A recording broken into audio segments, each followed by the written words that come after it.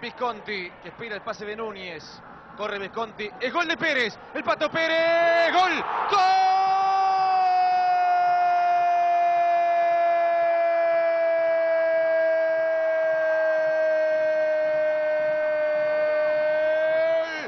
De Boca Unidos. La triangulación fue fenomenal. El corriente Boca Unidos 2, Gimnasia 0, Pérez, el apellido del gol. Aparición, hay que jugar con enganche, muchachos técnicos. Hay que jugar con conductores. Hay que jugar ofensivamente. Apareció Patricio Pérez, pelota al área. Sale bien Monetti, pero lo dejan muy solo. Se jugaba en el ataque. Qué bien la baja Visconti.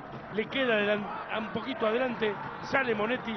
No lo puede interceptar. Y gran definición del talentoso ex. El Pato Pérez define. Le decíamos que si Boca Unidos le perdonaba la vida a Gimnasia lo podía complicar.